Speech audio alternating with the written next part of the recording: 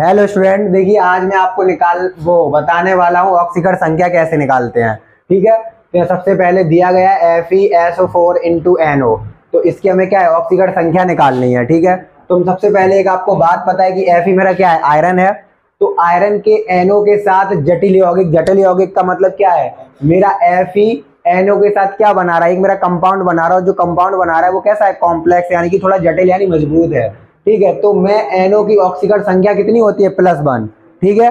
तो अब हमें पता है कि एनओ की ऑक्सीकरण संख्या प्लस वन हो गई, फिर उसके बाद है, इसमें एसओ फोर दिया गया है। तो उन्होंने बोला है एसओ फोर की ऑक्सीकरण संख्या का मान इसके आवेश के बराबर होगा। यानी कि एसओ फोर पर जितना मेरा चार्ज होगा, उतना ही उसकी क्या होगी? ऑक्सीकरण संख्या। तो यहाँ पे कितना है? टू नेगेटिव ठीक है तो उसी प्रकार सबसे पहले मुझे एफ़ की निकालनी है इसमें। ठीक? जिसकी निकालनी है, उसके नीचे अंडरलाइन है ना? तो एफ़ ई की हमें निकालनी है, पता नहीं तो मैंने क्या माना एक्स ठीक? उसके बाद प्लस एसओ फोर की उन्होंने सीधा बोला था कि जितना चार्ज है, आवेश है उतनी क्या है ऑक्सीकरण संख्या।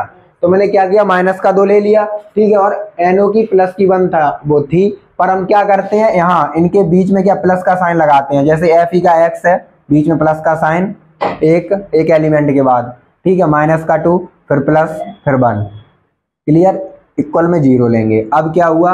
Plus minus minus. ठीक, ये प्लस का वन है इक्वल में ज़ीरो अब एक्स उधर जाएगा तो अब ये डिजिट कहाँ होंगे? इक्वल के उधर जाएँगे ना? अभी इधर है इक्वल के इक्वल के उधर पहुँचे तो क्या दो प्लस का हो गया और वन माइनस का हो गया? तो कितना निकल के आई? एफ़ ई की, प्लस की वन।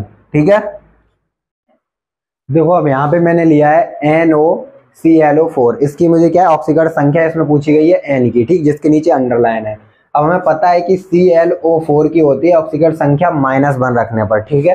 भाई, मैंने किया तो क्या किया? सबसे पहले एन की मुझे निकालनी थी तो एन की पता नहीं है एक्स ओ की आपको पता है माइनस का टू होती है, ठीक? और सी एल ओ फोर की माइनस का बन लिया इक्वल में ज़ीरो तो प्लस माइनस माइनस का टू प्लस माइनस माइनस का वन ये इक्वल के उधर जाएँगे तो सभी प्लस के हो जाएँगे, और इनको ऐड कर देंगे तो प्लस का तीन तो एन की कितनी निकल के आई? प्लस का तीन।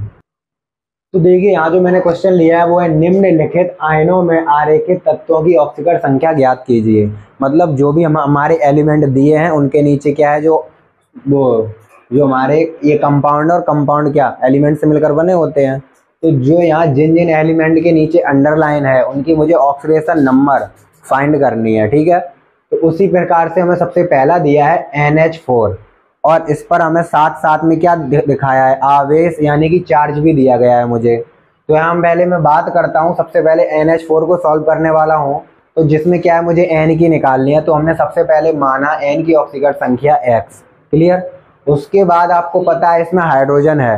तो आपको पता होता है, प्रत्येक हाइड्रोजन परमाणु की ऑक्सीकरण संख्या हमेशा कितनी होती है? प्लस की वन होती है। ठीक है? उसके बाद इन्होंने दिया है एन एच फोर आयन है मेरा एक पूरा एन एच फोर आयन पर उपस्थित आवेश। कितना है? प्लस वन मतलब चार्ज एक ही तो प्लस लगा है। अब हम निकालेंगे तो एन एच फोर प्लस सबसे पहले एन की निकालनी है तो एक्स लिखेंगे प्लस एच की कितनी होती है? प्लस का वन और इंटू फोर अब हमेशा याद रखना जितना आवेश हो, वो हमेशा कहाँ लिखेंगे? इक्वल में। क्योंकि उनमें हम देखो, जो पहले कराए थे इक्वल में ज़ीरो ले रहे थे, क्योंकि उन पर हमें चार्ज दिया नहीं गया था ना, इसलिए ज़ीरो ले रहे थे। यहाँ चार्ज दिया गया है तो इक्वल में कितना चार्ज है? प्लस का वन क्योंकि एक बार प्लस बना है तो इसका मतलब प्लस का वन अब एक्स प्लस और फोर बन जाए फोर प्लस का फोर इक्वल प्लस वन अब ये फोर उधर ले जाओ। एक्स है, अब ये फोर मेरा एक इक्वल के उधर जाएगा तो एक्स इक्वल माइनस का फोर और प्लस का वन तो माइनस की संख्या बड़ी है और प्लस का वन छोटा है तो एक्स इक्वल माइनस का थ्री आएगा, ठीक है? ये हमारी ऑक्सीजन नंबर निकल के आया एन का माइनस का थ्री लिखनी है शॉर्ट करना है। देखिए, यहाँ क्या है? आपका पी का निकालना है, ठीक है? तो हमने पी का माना एक्स ठीक? प्लस ओ की कितनी होती है? माइनस की टू होती है इंटू फोर इस पर देखिए, जो आवेश, जो आपका चार्ज कितना है? माइनस का थ्री तो इक्वल में लेंगे माइनस का थ्री ठीक है?